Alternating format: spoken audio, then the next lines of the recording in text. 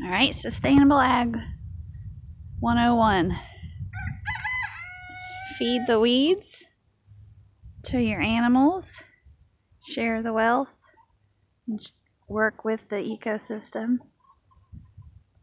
Look at those pigs. Hey, pigs. This is for you to eat. And I was weeding the berm, and it's for you to play with. I hope you like Doc. There you go. It's also 30 degrees out. It's very cold. And, oh, chickens might like it too. This is also to keep you entertained because you keep pushing out these fences. And I really don't want to have to help Farmer Erica bring you down the road again. Enjoy your greens!